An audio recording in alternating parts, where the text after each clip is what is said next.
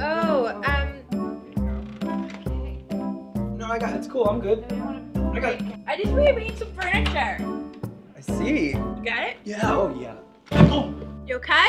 Yeah. Oh, okay, good. Yeah.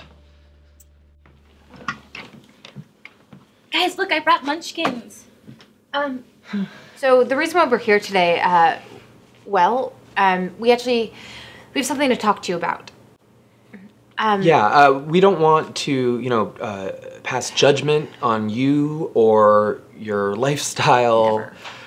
but But your apartment is too small. What?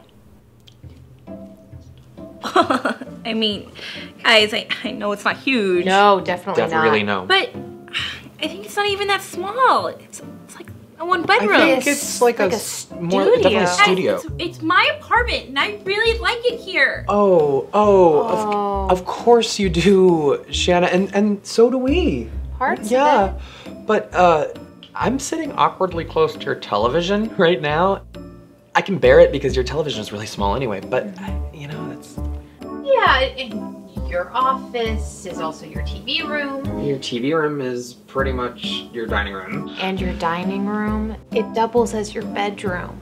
Right, your crumbs pretty much come with the sheets. And then you're like, ironically pleased that there are no sheets. But then you say to yourself, well, I really wouldn't want to like crash here. Oh god. Are you guys saying I should get rid of some of my stuff? Oh well, I mean, Yeah, yeah, like, way you're too much practically a hoarder, but like that's not really what we're here to talk about today. We're just here to tell you how miniature your living situation is. I mean, just because you look like a hobbit doesn't mean you have to live like one. you know? Christian. you know what? I'm just gonna put it all out there. I'm afraid to take a poop in your apartment. Excuse me? I'm afraid to take a shit in your apartment, Shan. Why? Because you can hear everything. Like everything. and then it's, it's just finished and it's like Just like Five five, feet feet. to the food. You don't want to chew or you poo.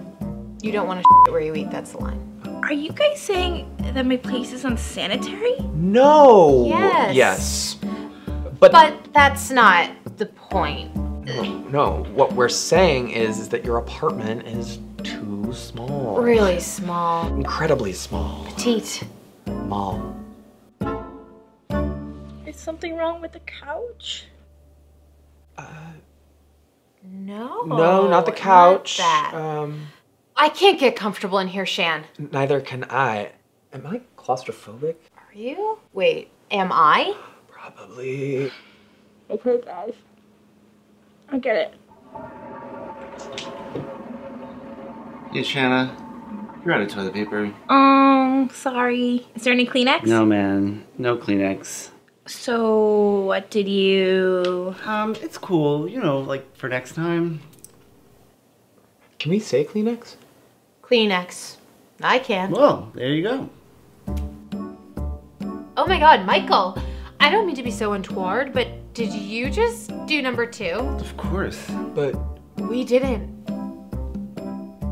We couldn't. You see? You can't hear everything! wow, Shanna, I honestly don't know what to say. I don't either. I mean, it's just like the laws of science don't apply here. That's impossible. If you eliminate the impossible, what remains, no matter how improbable, must be truth! Nerd. She's right. Yeah, she is right.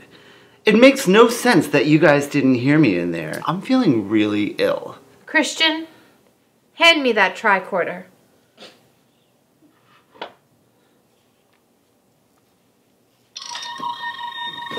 There is some sort of energy barrier around this door. You know that that's a toy, right?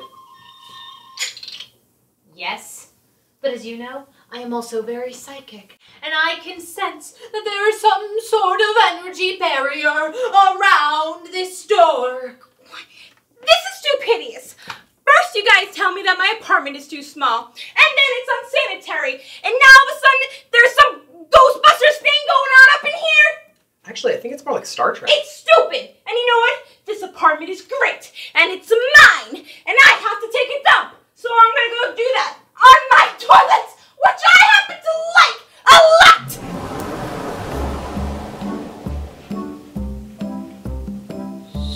Are we gonna talk about her style next time we come over? We'll have to be.